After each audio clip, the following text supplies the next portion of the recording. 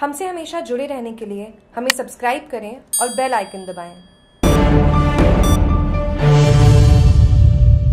Bike को टक्कर मारने के बाद अनियंत्रित होकर पलटा था टैंकर हादसे में पति घायल, पत्नी की मौत और टैंकर हुआ आग से स्वाहा सांडेराव फोर लाइन हाईवे पर सिंदरू व खिंदारा गाँव के बीच शुक्रवार शाम को एक बाइक पर सवार दंपत्ति को पीछे से जोरदार टक्कर मारने के बाद अनियंत्रित होकर कुछ ही दूरी पर पलटा था केमिकल से भरा टैंकर। चालक और परिचालक को कूदकर भागता हुआ देखते ही टैंकर ने धू धू कर आग पकड़ ली और थोड़ी ही देर में आग ने विकराल रूप धारण कर लिया। सांडेराव व सुमेरपुर पुलिस आग बुझाने व यातायात व्यवस्था सुधारने में लगी। इधर बाइक पर सवार दंपत्ति को पीछे से आ रहे परिजन तुरंत दूसरे वाहन से सुमेरपुर अस्पताल में इलाज के लिए लेकर पहुँचे। किसी भी पुलिस अधिकारी को बाइक दुर्घटना की जानकारी नहीं थी, सभी आग बुझाने में जुटे हुए थे। रात में इलाज के दौरान बाइक पर सवार महिला की मौत हो गई। तभी परिजनों ने पुलिस को बताया। चांगवा निवासी मांगीलाल पुत्र पुराराम भील ने पुलिस को रिपोर्ट दी और बताया कि वो और रतनलाल दोनों एक बाइक से सुमेरपुर से सांडेराव की ओर जा रहे थे। उनके आगे उनका भाई सोहनलाल व उसकी पत्नी मोहनी देवी बाइक पर चल रहे थे। छिंदारा गाँव मोड़ से आगे